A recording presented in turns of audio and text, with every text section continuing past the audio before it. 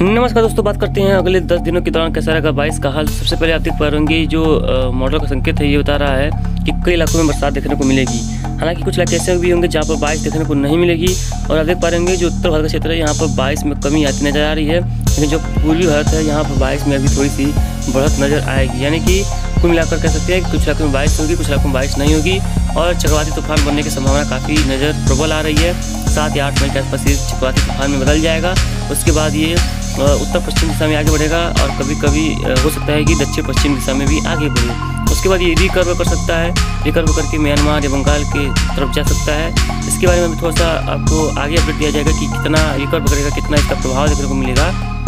लेकिन उसके पहले आप देख पा रहे होंगे कि इसमें साइक्लोनिक स्ट्रॉम ये बोल सकता है ये सीवियर साइक्लोनिक स्ट्रॉम बनने की इसकी प्रोबेबिलिटी है।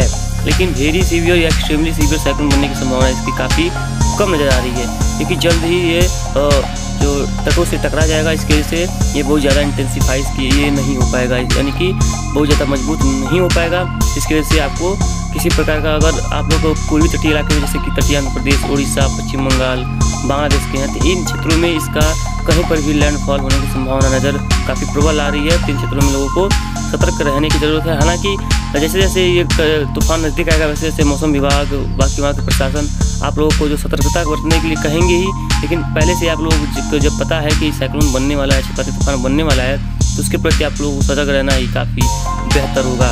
तो हम आशा करते हैं कि आप लोग काफ़ी ज़्यादा सतर्क रहेंगे, जिसके किसी प्रकार का आपको नुकसान देखने को उधर नहीं मिलेगा। आने वाले समय में अगर बात की जाए तो फ़िलहाल आगे आप वीडियो देख पा रहे होंगे कि जो नीले कलर का ये लगभग अगले पाँच मिनट का मैप है और मानसून का आगमन भी इसी बीच होने की संभावना नज़र काफ़ी प्रबल आ रही है। यानी कि इसी बीच मानसून के आने की संभावना भी है तो कई इलाकों में देख पा रहे होंगे, ये मानसून का यानी कि ऊपर की तरफ़ बढ़ चुका है और धीरे धीरे आगे की तरफ़ बढ़ेगा, ऐसे पूरी उम्मीदें नज़र आ रही है। तो फ़िलहाल इस बुलेटिन में यहाँ तक हम इतना ही, चलिए आगे आप वीडियो देख लीजिए, जिससे कि आपको लगातार जानकारी मिल पाए।